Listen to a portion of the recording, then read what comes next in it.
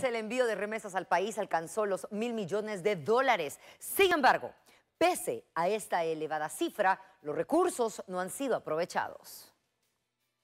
El Banco de Guatemala señaló que octubre registró un ingreso de 7.690 millones de quetzales en concepto de remesas, siendo un 12% de incremento en comparación a septiembre. Sin embargo, más del 40% de esos recursos no se reinvierte y se destina al consumo. Yo veo dos cuestiones aquí.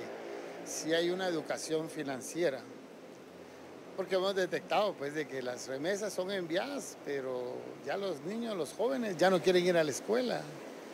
Entonces, si ya papá y mamá manda dinero, es una remesa que se está utilizando. No se le está dando una inversión que se le debería de dar.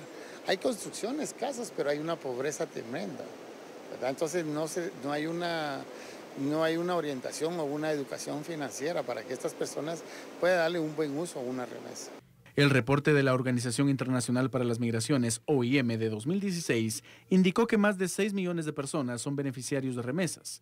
Los departamentos que concentran esos envíos son Guatemala, San Marcos, Huehuetenango, Quetzaltenango, Quiché, Alta Verapaz y Petén.